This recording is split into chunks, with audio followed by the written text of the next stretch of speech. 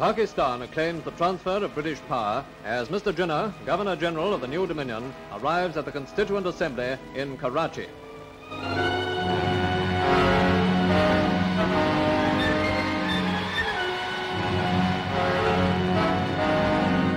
Guests of honor in the Muslim capital were Lord and Lady Mountbatten, carrying out one of their last viceregal duties before the partition of India took effect.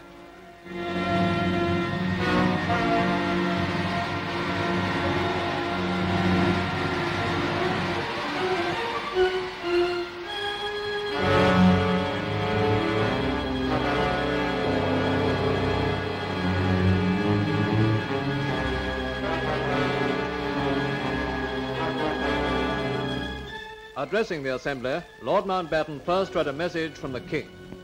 I send you my greetings and warmest wishes. Great responsibilities lie ahead of you and your leaders. May the blessing of the Almighty sustain you in all your future tasks. Then followed a personal word of goodwill from the Viceroy himself, while Mr. Jinnah's sister and Lady Mountbatten shared this historic moment. In reply, Mr. Jenner said, We are parting friends, and I sincerely hope we shall remain friends.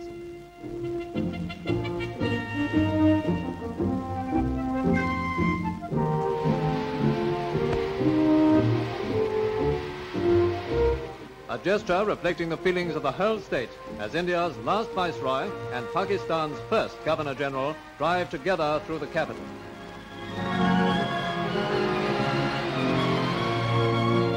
Later, the whole party appeared again before the cameras at the governor general's house.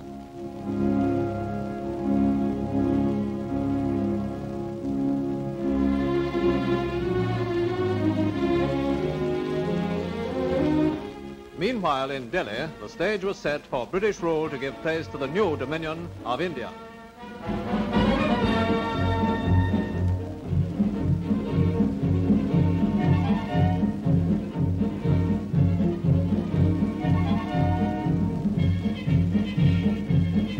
All thoughts were centered round the Constituent Assembly on this, the eve of independence.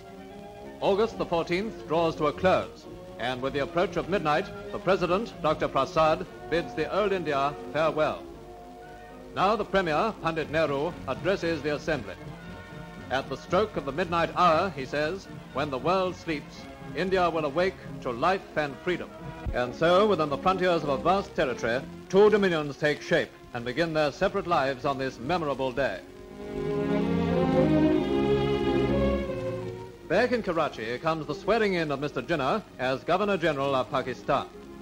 Among the great company who witnessed the ceremony were the commanders-in-chief of the Navy, Army, and Air Force.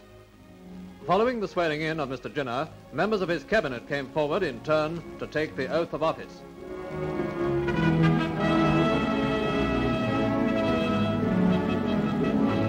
The green and silver flag is hoisted and Muhammad Ali Jinnah does homage to the birth of Pakistan.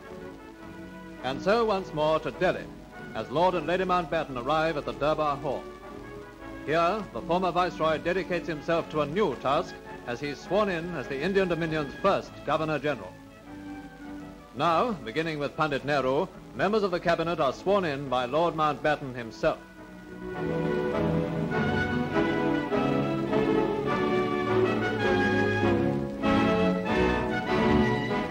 The close of the ceremony came a tremendous ovation for Lord and Lady Mountbatten and the Indian leaders with the state drive to the Assembly.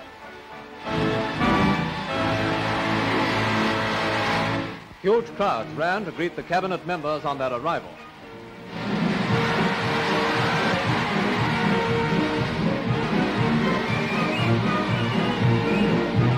Sardar Patel, Minister for Home Affairs, is followed by Sardar Baldev Singh, Minister of Defense. Maulana Azad, Minister of Education, and lastly, the Premier of India, Pandit Nehru. Again, the cheers rang out with the approach of the Governor General's carriage.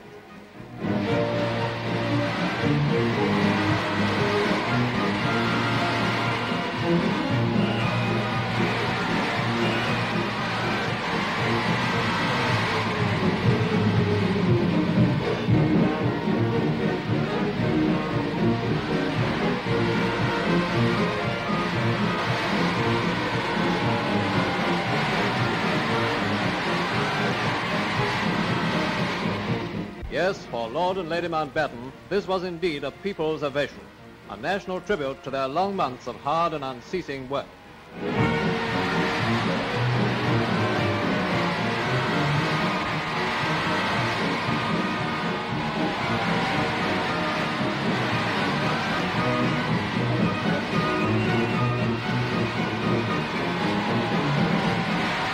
Not least among the rejoicings were those of the children of Delhi, for whom Lord and Lady Mountbatten had a special treat in the form of a surprise gift of sweets.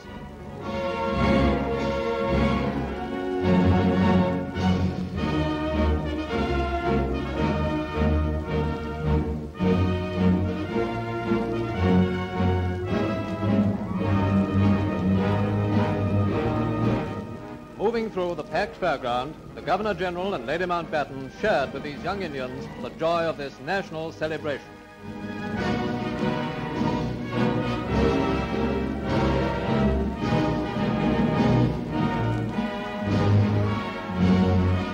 Truly, the Day of Independence has also been a day of goodwill and a crowning triumph to Lord Mountbatten's greatest task.